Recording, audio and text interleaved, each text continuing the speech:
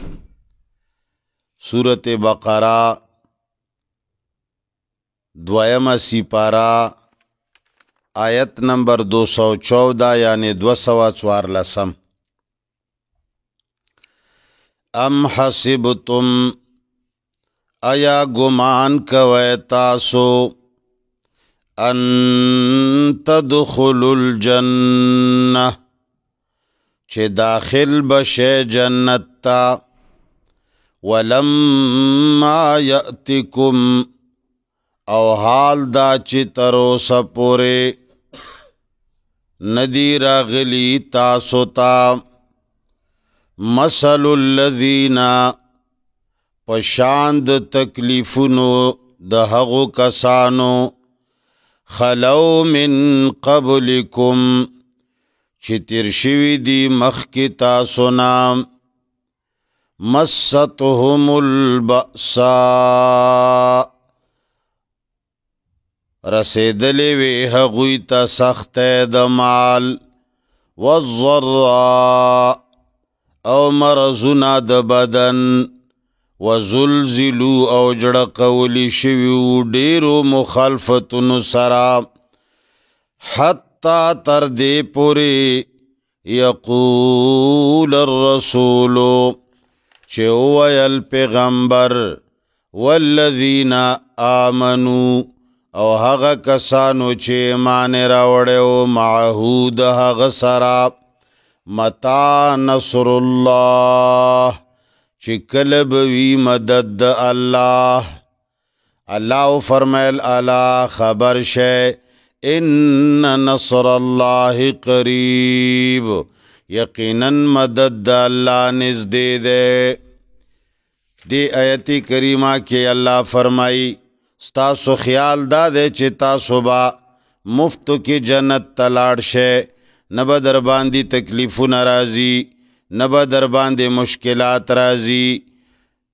او نه به در باندې بیماریان راځي او بس هم درنګې به جنت ته ځې الله فرمایي دا نشي کېدی بیا فرمایي چې پخوانی خلق چې کم وو هغوی ته ډېر مصیبتونه رسېدلي دي ډېرو مشکلاتو کې ګیرو او جړه قولی شوی وو په مخالفتونو باندې دومره مصیبت کې ګیرو چې واورځې د ډیرو مشکلاتو په وجه باندې رسول سره چې څومره چا ایمان راوړیو هغو ټولو وی چې الله دا مدد به کله راځي من خو ډیر تکلیف کې پراته یو بیا پستا غینا الله ورته وی چې زما مدد نږدې ده نو د دې آیت مقصد دا دی چې په مفتو کې صرف په منځونو باندې صرف رجوع باندې صرف په ذکرونو باندې جنت نه ملاويږي تکلیفونه برازي زبیر بن عوام رضی الله تعالی عنہ کله چې مسلمان شو نو خپل تر وتړلو او ډیر سخت تکلیف ول ورک ډیر وهلو سترګو پوزي کې وتلوږي وکړل عثمان رضی الله تعالی عنه کلا چې مسلمان شو نو یو ترې و چې هغه په صف کې پوزي کې راونغښت او بیا یې ورته لوګی وکړ چې لوګی په خولې په سترګه پوزو باندې ورننوته سا کې به دننه تلو لاسونه او بدن یې په پوزي کې رنغښتي وو خباب بن ارت رضی الله تعالی عنه خپل آقا او د د هغه غلام او هغه آقا چې و امیه بن خلف هغه به ورته سکروټې بلې کړې دی به ور باندې څملولو بیا به د بره په سینې ور باندې ولاړ و او هغه نه به ویني وبای دی زوی به ته وبای دی هغې سره به بیا سکروټې مړې شوې رسول الله صلی الله علیه وسلم تراغه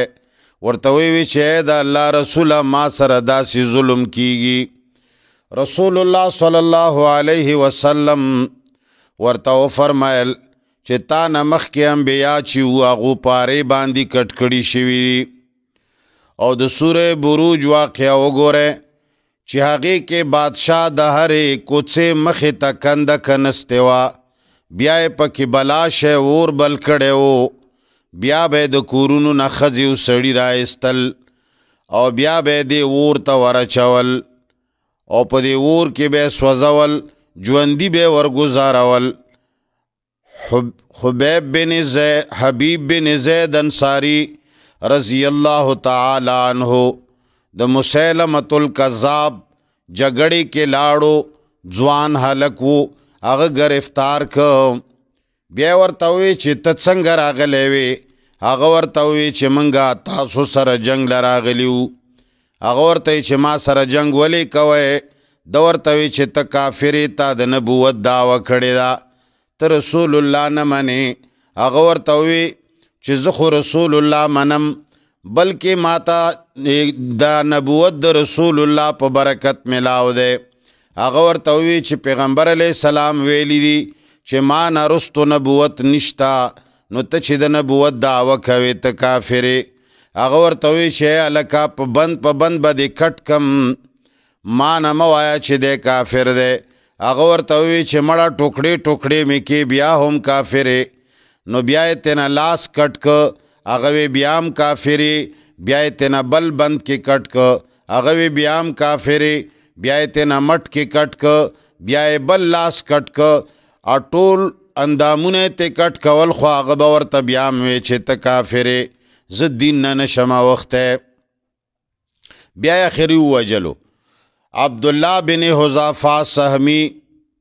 رضی الله تعالی عنہ کله چې د هرقل ته پیش بادشاو هرقل هغه ورته وی چې زبد ځان سره وزیر جوړ کم ما سره بت لوی عہدې باندې وي رسول الله ستا قدر نه کوي تا باندې جنگونه کوي ته به ما سره وي مزه به کوي زما دین قبول کا لور بدر کم دا به او کما به او کم هغه ورته وی چې نه نه زه دین نه پرېږدم نو الله فرمایي تاسو باندې لا هغه شان تکلیفونه نه دی راغلي او ته چې زه به جنت ته لاړ شم تا باندې به بیماریانې راځي مشکلات به راځي تکلیفونه به راځي ته به پې صبر کوې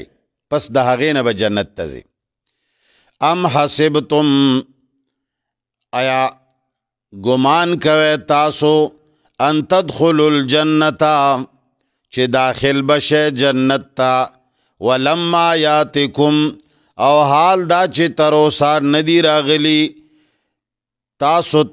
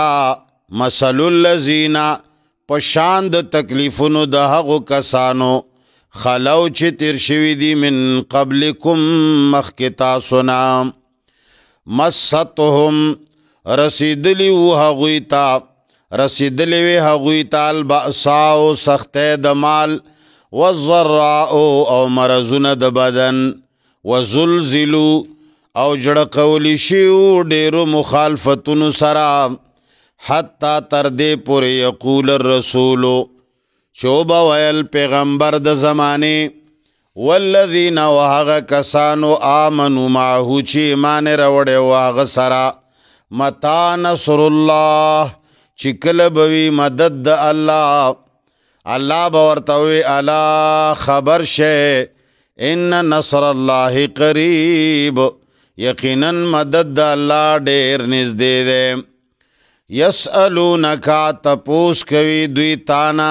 مازا ينفقون چې څه شي خرج کی پښتنه کوي سوال به کولو چې منګه څه شي خرج کو څومره خرج کو الله ولا جواب کې دا نه وی چې دومره خرج کا او دا شی خرڅ کا جواب نه غوي چې دا به پخت دا پختنه به معنی ده ته چې هر څه شی خرج کوي مال خو نه راکې الله فرمایي زه څه غریب نیم محتاج نیم غوښتو والا نیم ته چې هر څه شی خرج کوي خو مصرف ګورا دا سه زه کې ور کوا چې د قبل دلو زیوي بې ځایه ځای کې مه خرچ کوه ناکاره خلقو له مه ورکوه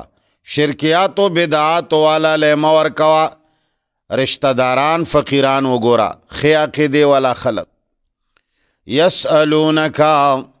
تپوس کوي دوی تانا ما ذا ينفقون چې څه شي خرج کی قل تورته وایا ما انفقتم هغه چې خرج کوي تاسو من خیرن سمال یعنی حلال مال چې تاسو خرج کوي نو مال خو نه راکوي فلل والدین نو د پاره د مور پلار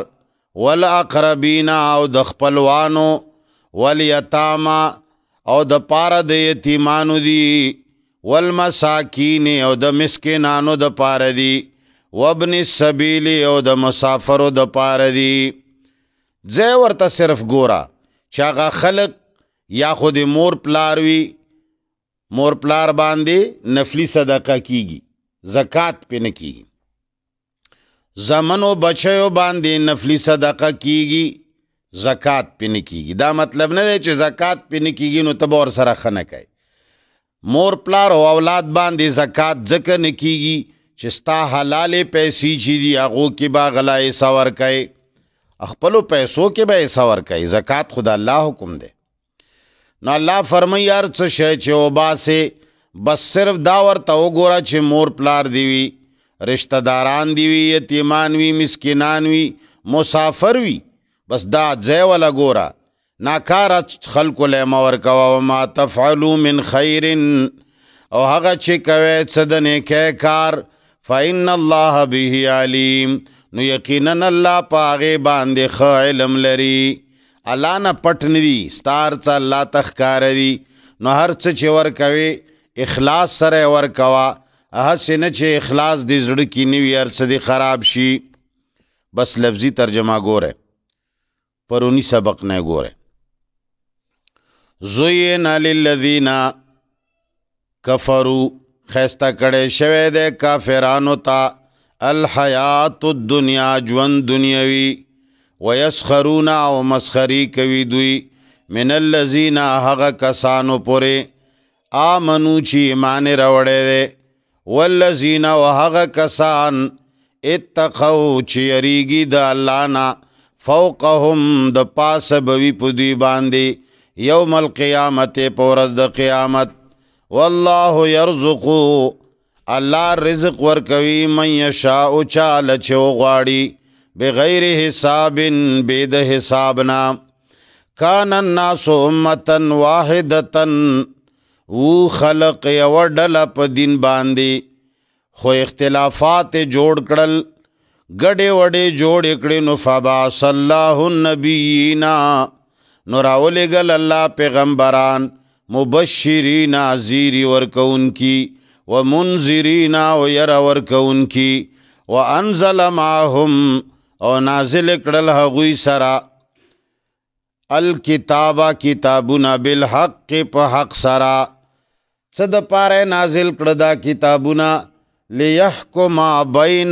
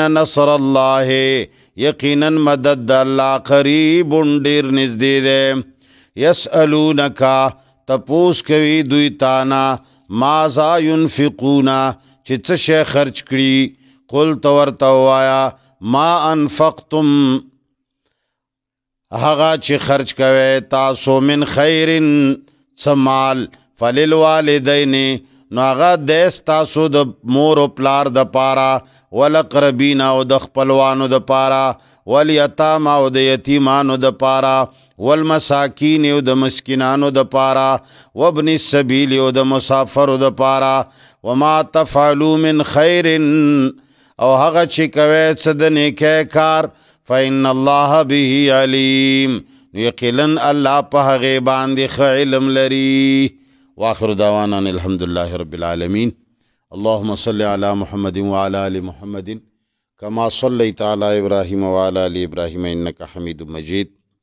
یا الله چا چې په دې درس کې حصه اخیستې ده دنیا او آخرت یې ښایسته که یا الله څه مصیبتونه تکلیفونه دي د ټولو نه یې وساته یا الله کورونه د خوشحالو ګهوارې ورته وګرځوه بچي یې نیک عمله که په قرآن او سنت ورته پوهه او عمل نصیب که موږ سره یې د بیمارانو له وله شفا ورکه هر قسم مشکلاتو نه یې وساته وصلی الله تعالی علی خیر خلقه